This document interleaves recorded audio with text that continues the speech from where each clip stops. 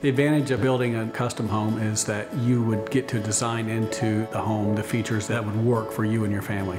During the design phase, the client will typically look at a house three or four times. We will keep designing until the client is happy with the design. One of the most exciting things about building a new home is picking out all the finishes. The standard specifications we use are at a level to where you don't feel like you have to upgrade everything in the house. Our in-house decorator has lots of experience designing custom homes. She has won many awards for interior design and makes the process very easy.